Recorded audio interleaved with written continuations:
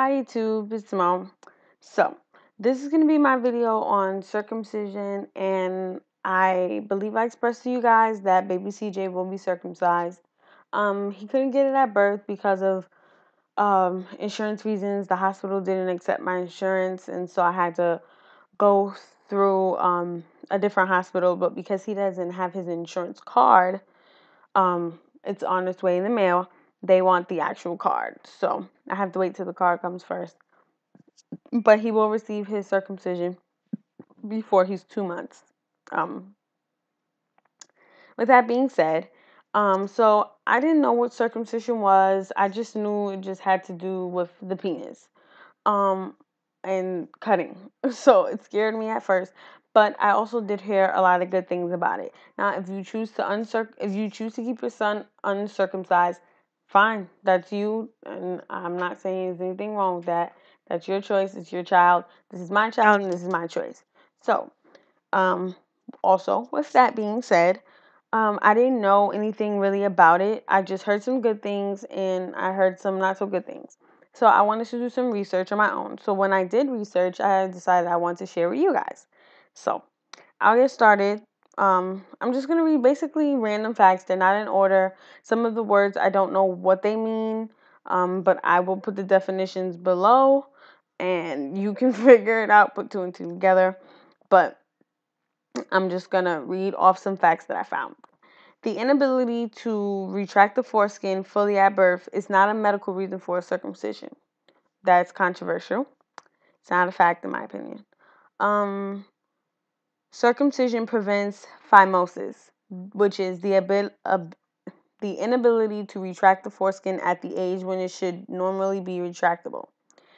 And um, it prevents paraphimosis, phimosis, which is the painful inability to return the foreskin to its original location. And blanano, which is the inflammation of the glands in the foreskin.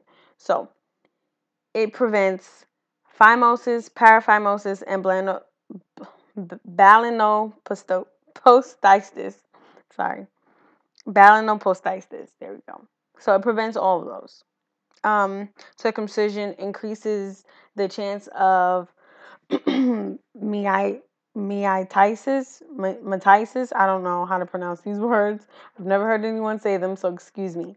Um, meitis, which is the inflammation of the opening, opening of the penis. Um, circumcision may result in a decreased incidence of urinary tract infections, something that you do want. You do want it to prevent that. um, circumcision may result in a lower incidence of sexually transmitted diseases and may reduce HIV transmission. You also want that. You also want it to prevent that. Sorry. Sounds like I'm saying you want STDs and HIV. No, you want the prevention. Um, circumcision may lower the risk for cancer of the cervix in sexual partners. Women who have sex with men who have circumcised penis have a lower chance of getting cervical cancer. Rather, or versus women who have sex with men with uncircumcised penises, you know, obviously the chances are higher for them. So, um, Circumcision may decrease the risk for cancer of the penis, obviously something that you you want to prevent cancer in the penis.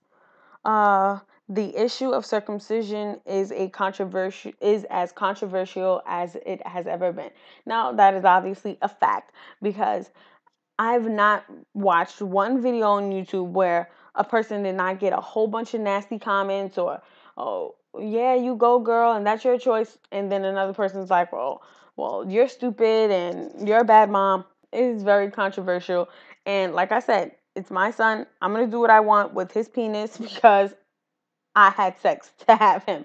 So when you have sex to have your own son, you can make the decisions that you want to make. But I'm going to get my son circumcised. And that's that. Now, just some questions that people may have. I'm just going to um answer them now. What is a retractable foreskin? A retractable foreskin is one that can be pulled back behind the groove of the coronal sulcus to expose the glands. Basically, it's a skin that you pull back to expose the head of the penis. Um, what is newborn circumcision? newborn circumcision consists of the removal of that foreskin that I talked about earlier. And the foreskin is resected near the corolla suctus in the newborn period between the age, uh, before the age of two months. So basically, they just clip the um the foreskin and then the head opens up, obviously. Um, what is the status of the foreskin at birth? Um, so these are some facts. Only about one in every 20 boys is born with a retractable foreskin. This reflects the fact that the tissue development of the foreskin is usually not complete at birth. Um, I guess I've never even heard that um, boys can be born without one. So I don't know. About 96% of newborn boys, their a foreskin is is not already separated. So basically, 96% of boys have the the um the retractable foreskin. So basically, as a boy gets older, if they have not been circumcised, they can by the the age of one 50% of them can retract it. And then by the age of three, 80 to 90% of them can retract it. So eventually it is retractable. At birth, you it just looks like nothing to pull back. It just looks like, you know, a penis with no head, obviously. But as they get older, it, they can pull it back um, if you choose to uncircumcise your son. Um, now, what does this have to do with circumcision? It just means that the inability to retract the foreskin at birth and in infancy is normal, and it does not constitute a medical reason for circumcision. So, it just means eventually your son will be able to um, expose his head, and it doesn't have to be exposed all the time. Now, that is controversial, and I agree with that, but even still, the the prevention is what I'm for. I, I really don't care if his head shows or not or if he can retract the skin. I don't care about that.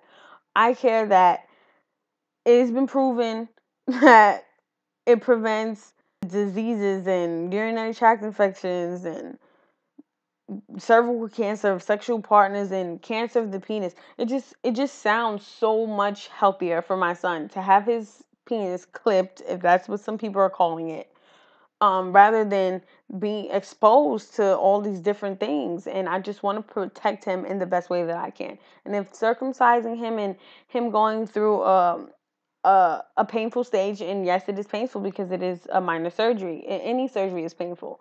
Um, it, obviously, it's going to be painful, and if I if I have to deal with comforting him to the extreme amount to the limits that I can, to make sure he's comfortable while he's going through this pain. I I'm all for it because then that then I know that he has the prevention that he needs.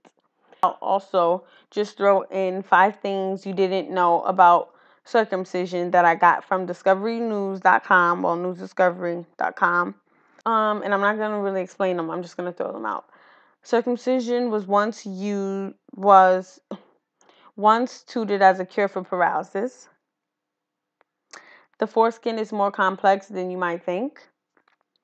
The first recorded circumcision happened in Egypt. Uh, circumcision may have caught on as a status. Oh, like um, whether or not you're normal. So it it marks people in class. Like oh, if you're um if if you're circumcised, then your parents are good because they chose they they made that choice to to circumcise you. And if you're uncircumcised, you then your parents don't love you. Things like that, like of status. Oh well, if you're circumcised, your parent have more money. Or if you're uncircumcised, you're um, I don't know, just you're more cool. I don't know. It just it it creates status problems with status. Um, and the last, well, the fifth sim, the the fifth fact is that circumcisions leave un- unique marks. Now, I didn't really know about that, but I guess so. Well, I guess because they have to clamp it. So I guess I don't know. Whatever. But um that's pretty much it. And I didn't really want to do this video at first because I watched a lot of videos and people got like bad feedback, but I honestly I don't even care because like I said, if you don't like what I say on my on my channel that I created on my computer that I bought, um, you can just get the hell off. That's that. So, like I said, Um, these are just some facts that I found and I wanted to share with you guys because honestly, I didn't really know much about circumcision. I just knew it prevented like the possibility of diseases and stuff. So I jumped on board and I want my son to get circumcised which he will. Um, and that's it. If you have any questions, comments, concerns, um, put them below. Like I said before, I will put those, I think it was three words that I really couldn't pronounce. I will put the word and the meaning next to them so that way you can get a clear understanding of what it is. And my source, which I already told you, newsdiscovery.com. And then the other one, I don't really remember because I hate citation and I didn't really want to cite the website at the time, so I kind of forgot. But if I can find it in my history my computer, I will put it below as well. So that's it. Bye, guys. Oh, baby CJ sleeping, so just wanted to show you guys him. There he goes. and I switched his passing, which I'll do in his um. Can you guys see? Oh, I switched it to a NUK passy.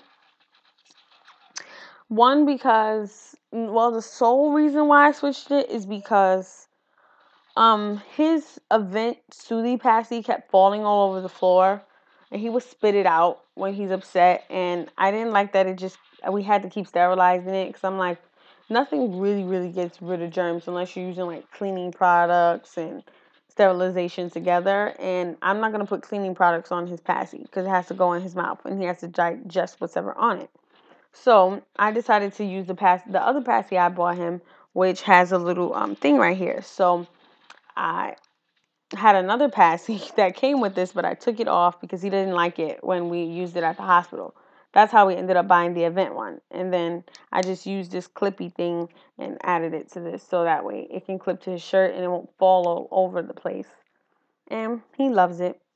So that's it for my circumcision video. I will be doing his um four week update right after I do this video. And then um, in two days, I'll be doing his month update and my one month postpartum update.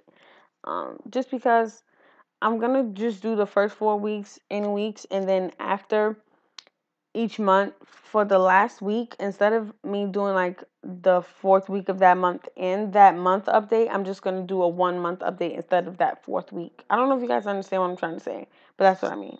So, bye guys.